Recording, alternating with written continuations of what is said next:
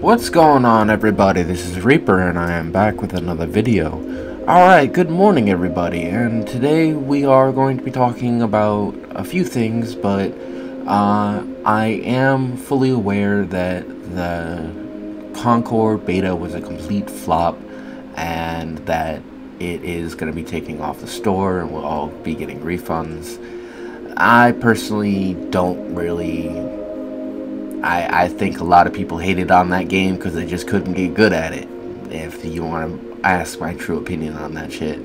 So, I think it's kind of funny that Sony completely flopped their own studio and that they are now in the gutter and now are basically going to basically be giving refunds to players. I think that is massively funny.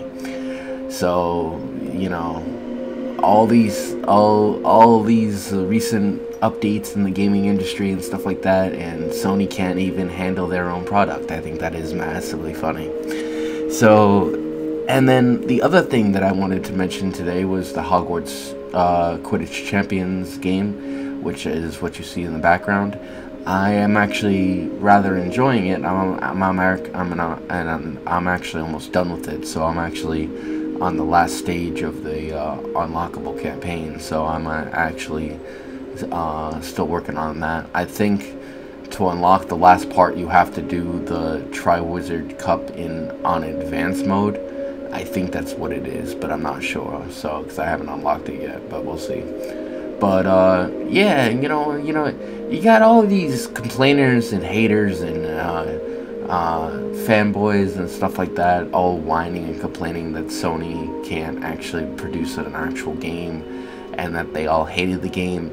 Like I said before, I think that a lot of people are hating on that game because they cannot get good at it, and I think that is actually the actual massively fun, fun, uh, fun reason why you can't actually uh, you can't actually support your own product because none of none of your gamers actually can get good at it, and which I think is kind of funny because I legitly played the game for 36 hours and I legitly am level 21 and I legitly can get good matches. So that doesn't really apply to most of the casuals, I guess, because the casuals can't even learn how to actually properly do tactics in an actual first person shooter. So I think that's massively funny, but um, yeah, so, and did I, did I think a Concord, Concord was a bad game? No, I did not. I actually enjoyed it. I actually was having fun with it. So, the fact that I'm going to get a refund for it is actually kind of depressing. But I think that, uh, you know, with uh, uh, Hogwarts Champions out, Star Wars Outlaws out, um, with Dragon Ball Z Sparking Zero and Call of Duty next month, I think that, you know, that's fine. I can I can find other games to play. I don't need Concord. But I will be happy for that $40 refund though. That will be actually kind of interesting to use on something else. But yeah, but you know, and do I think that they actually did a good job on Champions? Yeah, I do. I actually enjoy playing the uh, playing the sports game a lot. It's actually a lot of fun. They did make a few changes to the actual dynamic of the game, and those changes aren't so bad, but they are they are kind of uh, a little bit of uh, uh, a letdown, considering that I am a Harry Potter fan and I actually do actually enjoy that series a lot. So um, the the the critique that they did is they to catch the golden snitch you actually get 30 points not 100 and not 150 so you actually do actually have to use the snitch a lot in the game in order to actually pass the other team. So you you you the best way to do this is to basically be a chaser the entire match and then just score points until you have a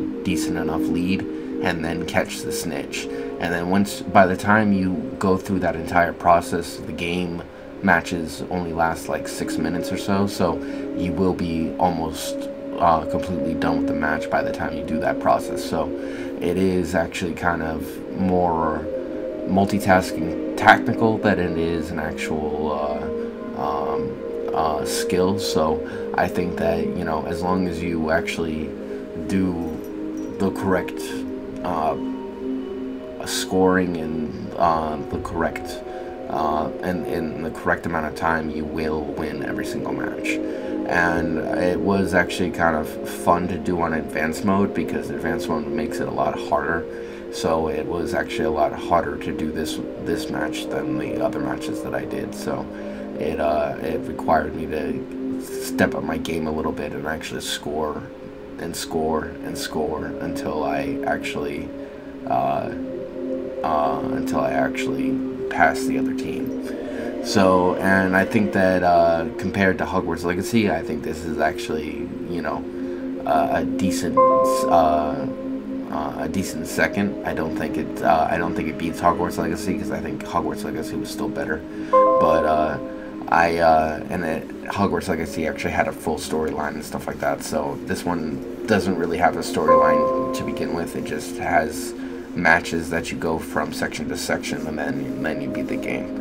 It's uh it's not that uh it's not not a, that enticing, but if you do like the Quidditch game and you do actually like, you know, playing Harry Potter, then this game is for you. This game is actually really fun. Um, and it does require a certain uh, certain amount of understanding to actually really do the game well because you actually have to be in all positions the entire match. So, and then um, the uh, other thing that I wanted to mention was the fact that just because Microsoft is not selling hardware sales does not mean they're failing because if you look at their if you look at their bank income and you look at their actual value as a company, they have way more money than Sony. So they will always be here. They will not go anywhere. Just because the consoles are not selling at this stage in the actual generation does not necessarily mean that Microsoft is dying. And I think that is a real, real, real understatement to uh, when you see all these fanboys actually crying that Microsoft is not selling consoles. And, you know, for Microsoft, they don't need to sell consoles like Sony does to actually make a buck. They legitimately can make money on all different types of things, and they don't need uh, they don't need their consoles to lift them up to actually produce actual quality of value that they have a quality of value in almost every section in the gaming industry and it's just it just makes them more and more value. And if you want to know what the true value of Microsoft is right now it, it is Call of Duty everybody. So yeah when once Call of Duty comes out next month you're gonna see a big spike in sales for Xbox and I think that's gonna be amazing. So but I hope everybody enjoyed this video. I hope you found this useful and I will catch you guys on the next one. Later